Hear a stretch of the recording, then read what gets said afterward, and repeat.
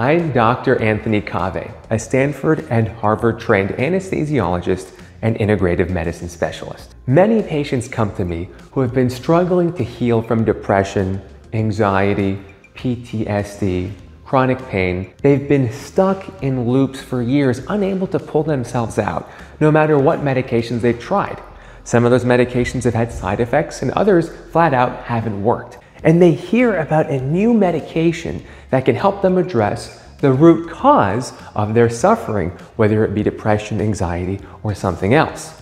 And they're very excited to explore this new therapy that can help them reduce their reliance on other medications, only to find out that insurance doesn't cover it. If you heard of ketamine, you know this story. Even though ketamine, like many of the medications that we use in the operating room every day, has been around for decades. In fact, ketamine has been around for over 50 years, and yet it's still an out of pocket cost for patients. What is the secret that the pharmaceutical industry is using that can be used for good, powerful innovation, but also to hinder access to these powerful medications and therapies for my patients? And why doesn't ketamine get FDA approval so it's no longer an off label use for these mental health conditions? Simply put, it's really expensive and you can't put a patent on an old medication. Well, actually, you kind of can. They're called patent extenders, but it can't just use the same exact old medication. Here are the four tricks that Big Pharma uses to get across that problem and why they've tried it for ketamine and it doesn't really help patients in the long run. Medicine's greatest secret is our inner healing potential, and it's most powerful under anesthesia, when we let go of the reality we think we know.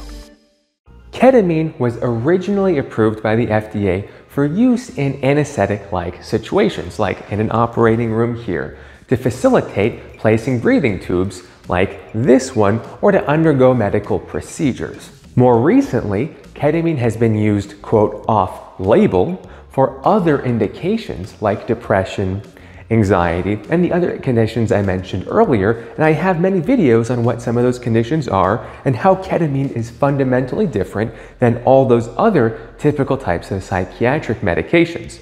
But this is still what's called an off-label use. Off-label use sounds really scary, but in reality, the majority of the medications that we use in medicine, especially in critical care settings, like what we use in surgery, just look at what we have here. Propofol is a powerful anesthetic, often used for off-label purposes. Dexamethasone, a powerful steroid, often used in quote off-label circumstances. Reglan, Zofran, so many medications are powerful and effective and safe, but haven't been studied through the way that the FDA requires to get their badge of approval. Since ketamine is still used off-label for depression, anxiety, and these other conditions, insurance companies are very hesitant to reimburse for these therapies, even though they're very, very effective and safe so what's the problem with FDA approval? Who cares if it's FDA approved if the medication works? The problem is that as soon as something is generic, meaning that anyone can produce it, pharmaceutical companies can't charge high prices because of supply and demand. There's no longer protection for producing that medication from their previous patent. So those medications that I showed you earlier in the anesthesia cart are often generic and are much cheaper than they were when they first came out. Who is going to put the money into these studies to get that official FDA approval if they can't make money off of selling the 50 year old generic medication? So the problem is that pharmaceutical companies have an incentive to keep making new medications so that they can have what's called a patent extension to breathe new life into their medications. The problem is that making new medications is very, very expensive and applying for the FDA approval process is also very expensive. So the safest bet is to take old medications that we know work very well and make minor modifications and slap those through the FDA approval process so that we can get new patents for making them so that we can continue to make profits off of older medications. If this sounds messed up to you, well, it kind of is. These incentives are perverse, or what we call perverse incentives, because pharmaceutical companies are incentivized to make minor changes to old medications and repatent them. We call them Me Too drugs. This is the first way that you need to know that pharmaceutical companies continue to generate large profits, sometimes with minimal innovation. I'm not saying pharmaceutical companies are all bad. There are powerful, powerful drivers of innovation in many cases, not always in Me Too drugs. And it's not subtle, these tricks that they play. You need to look at the chemical or the generic name, not the brand name, because it's covered up. Look at ketamine, for example. I told you that ketamine is over 50 years old and has been off patent for a long time, and that's why it's relatively cheap compared to brand name medications like Spravato. Spravato is the intranasal form of ketamine, and notice how Spravato completely hides the fact that it's just plain old ketamine, but one form of ketamine that's been extracted from the age-old ketamine. It's called an isomer. It's the same molecule, but modified in a slight way to grant it a new chemical name and a new brand name that facilitates it being approved and having a patent extension. That's ketamine versus S-ketamine. That S refers to the minor modification that's made from the what's called racemic ketamine to help give it that patent extension. Racemic means that it has all the different forms of the ketamine. The S-ketamine is referring to one type of ketamine that's extracted from that racemic mixture of ketamine.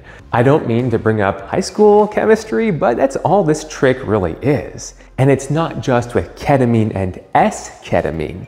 Look at other really common medications like proton pump inhibitors for acid reflux which, by the way, are some of the most prescribed medications in the planet. A common one is omeprazole, called Prilosec. But when Prilosec was going off patent, they made S-omeprazole. So that's omeprazole versus S-omeprazole. Largely the same molecule, but extracting one subtype of the original omeprazole. But they gave it the name Nexium to completely hide the fact that, hey, this is just a minor modification of the original Prilosec. But they were able to generate profits from having a new patent on this new Me Too medication.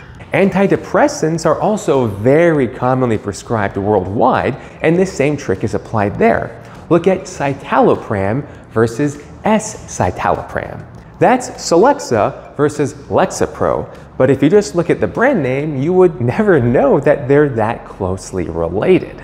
And how about allergy medications? Also very, very widely used. Cetirizine versus levocetirizine. But the brand names Zyrtec and Xyzal don't make that connection as obvious as their chemical or generic names. Number two are the delivery routes of medications. Ketamine was traditionally given intravenously or with an intramuscular shot. It's called a ketamine dart. I've talked about it in other videos. We often use it in pediatric patients who can't tolerate an IV in the operating room or the emergency room. However, S-ketamine or Spravato is an intranasal spray. So that's a different route of delivery which also helps justify its case of being given a patent extender in addition to being an isomer of the racemic ketamine that we've been using for 50 plus years. You hear similar tricks all the time in drug ads. Have you ever heard of sustained release versus immediate release?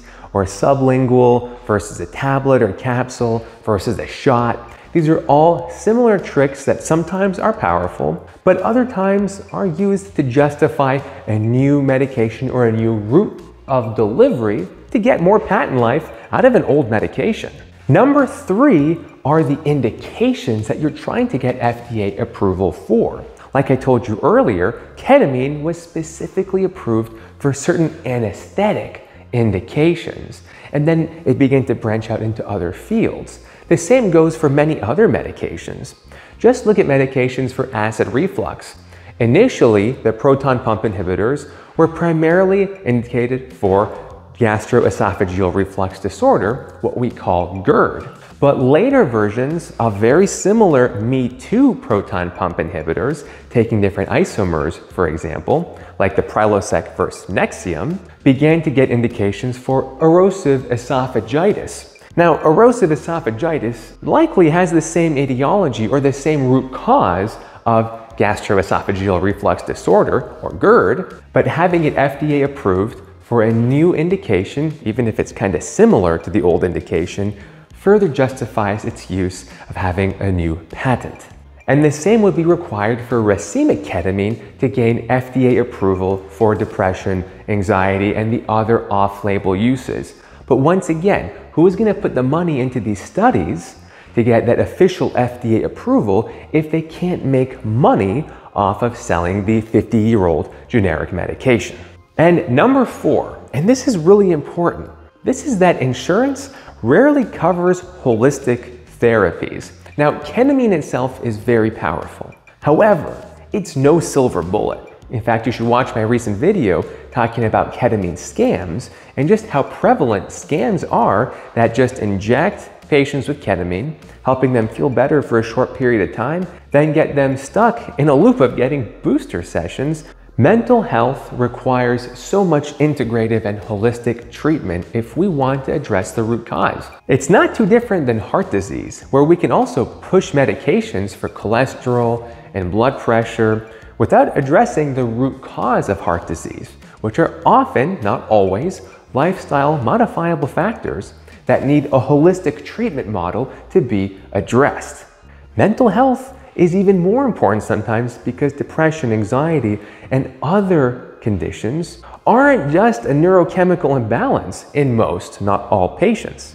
The Western biomedical model reduces us to a bunch of serotonin and glutamate and norepinephrine around the brain.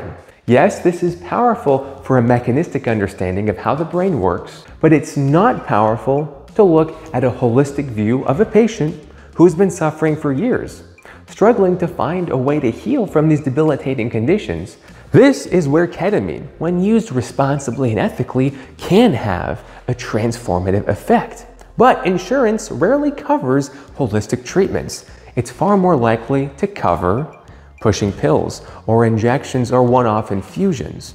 Unfortunately, that's a reality of the Western medical system that most of us live in here in the United States. There you have it, four reasons why insurance doesn't cover ketamine and probably won't cover a holistic healing model with any psychedelics in the future.